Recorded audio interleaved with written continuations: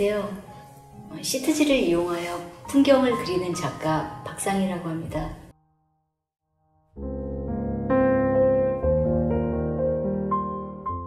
네, 2021년 갤러리 박영에서 이루어졌던 시푸디전에 참가하게 돼서 너무 기뻤고요. 특히 젊은 작가들과 또 좋은 계절에 전시를 함께하게 돼서 정말 기분이 참 좋았습니다.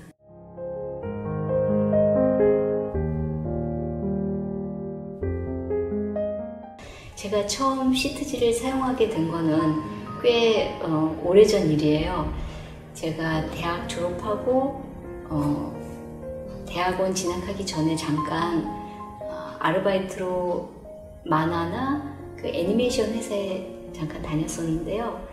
어, 그때 어, 만화를 그리면서 사용했던 그 재료 뒤에 그 이렇게 논란 표시라든지 어, 뭐 이렇게 배경을 설명하는 그런 시트지를 어, 이용했던 적이 있는데 그때는 그림 안에서 그 시트지를 붙이고 어, 이미 기성화된 어, 이미 프린트된 그 시트지를 이용했었는데요.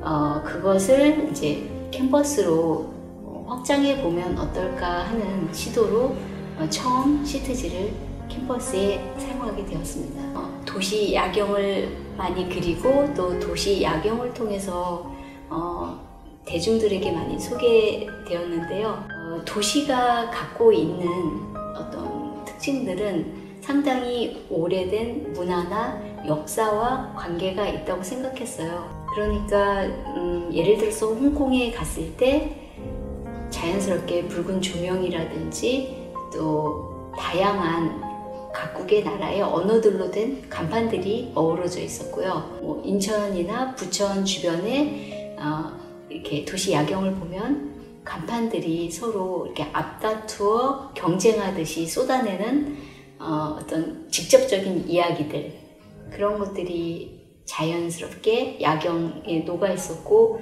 또 일본은 일본대로 조용하면서도 또 세련된 도시의 색을 어, 뿜어내고 있었습니다. 그래서 도시의 야경은 그 도시가 갖고 있는 문화적이나 또는 역사적인 우리가 어, 이렇게 한 줄로 표현해낼 수 없는 깊은 어, 지난한 시간을 내포하고 있다고 생각을 했습니다.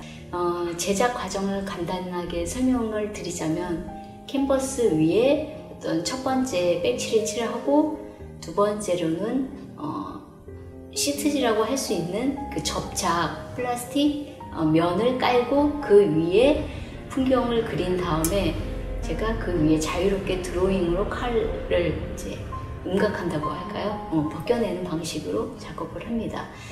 그래서 음, 풍경이 첫 번째로 어, 이렇게 인지가 되지만 가까이서 보면 풍경과 함께 이렇게 아지랭이처럼 드로잉이 자유롭게 오려진 것을 같이 어, 볼수 있거든요.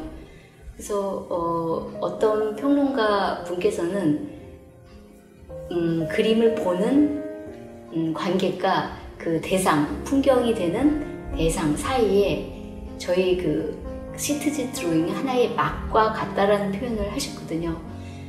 근데 그 막에 어, 자유롭게 펼쳐진 드로잉은 어떻게 보면 그 일반적인 풍경을 깨뜨릴 수도 있고 나만의 풍경으로 어, 재구현하는 그러한 장치로 사용된다고 볼 수 있겠습니다.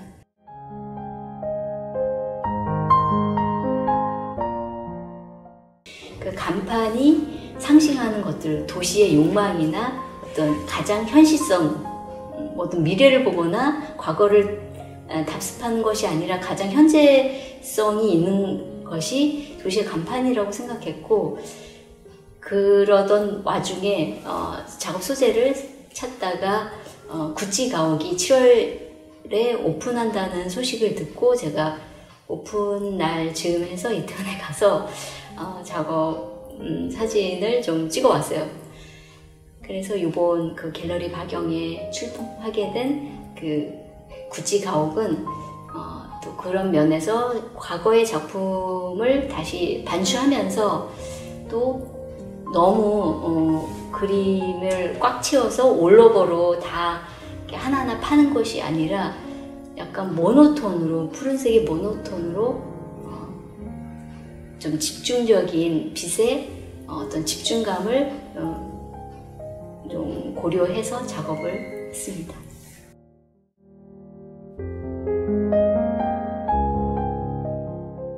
시트지 자체의 물성을 활용한 어떻게 보면 모노톤이 될 수도 있고 조금 그 입체적인 추상 음, 작품을 어, 하고 있, 있거든요.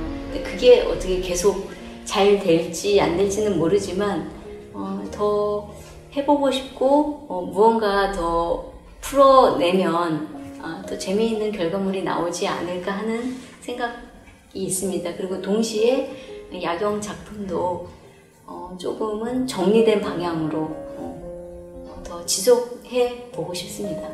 저는 이제 작업을 할 때 어떤 빛의 중심, 어떤 포인트가 되는 반짝이는 빛, 뭐 이런 것들을 좀 많이 염두에 두고 하거든요. 그게 드러나든 안 나든 어, 제가 사진을 선별 찍고 선별할 때도 빛이 얼마나 효과적으로 어, 이렇게 발현되는가를 굉장히 많이 보고 어, 이 그림을 그리고 싶다라는 생각을 하거든요. 마찬가지로 보시는 분들도 어, 이런 빛 표현이 참 재미있다. 내가 지나 어제도 지나갔던 그 거리인데 어, 이렇게 빛이 이런 야경이 있었네 이런 생각을 하셨으면 좋겠어요. 그래서 어, 굉장히 일상적인 풍경인데 어, 이렇게도 어, 전개가 될 수도 있구나. 어, 내가 늘 보던 것도 또 어떤 작품의 그림으로 어, 이렇게 뭔가 승화된다 그럴까? 어, 다르게 어, 연출될 수 있구나라는 점을 좀 음, 나누고 싶습니다.